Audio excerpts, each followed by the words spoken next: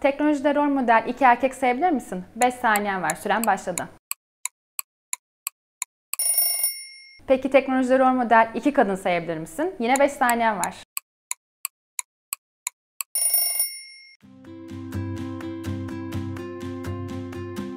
Teknolojide rol model kadınlar yetiştirme hayaliyle bir yola çıktık ve Upschool'u kurduk. Binlerce başvuru aldık. Seçtiğimiz yüze yakın öğrenci 4 aylık yoğun bir eğitimden geçtiler.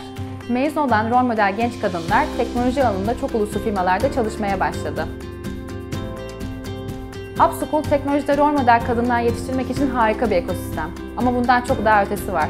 O da kadınların birbirlerini geliştirme ve daha öteye götürme isteği. İşte bu yüzden bize her gün 8 Mart. Her kadının her günü 8 Mart olsun. Sen de bu videoyu paylaş. Birbirini yükselten kadınlar çoğalsın.